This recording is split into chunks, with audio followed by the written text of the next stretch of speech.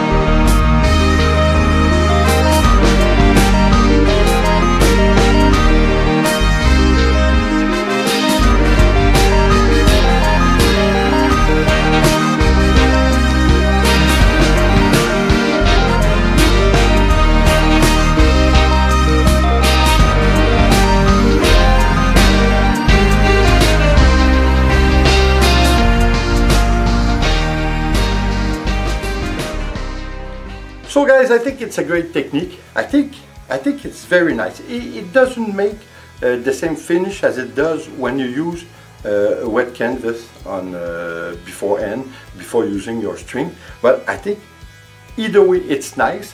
Uh, as you saw, I had to do a little work since uh, it wasn't wet. So uh, the, the, it, there, there, there never could be enough acrylic on your string to do everything and cover every part of the string uh, which you leave uh, the mark on. So I did put a little work on. I don't think it's it's very nice, but to be frank, I think I like it more when we use a wet canvas just for the fact that uh, you work a lot less to have the finish that we have now.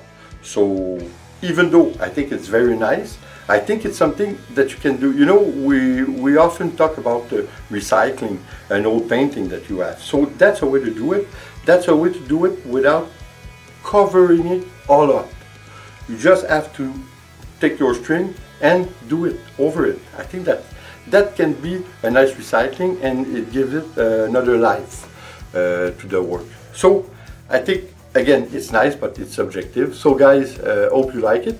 Hope you enjoy. Hope you're gonna try it because it's a good way to recycle. And either way, if, even if you don't recycle, it's a nice way to go about it. It's less messy, let's say. So guys, on that note, please, uh, like always, subscribe, leave a comment, and share. It's always appreciated. See you on the next video. Take care.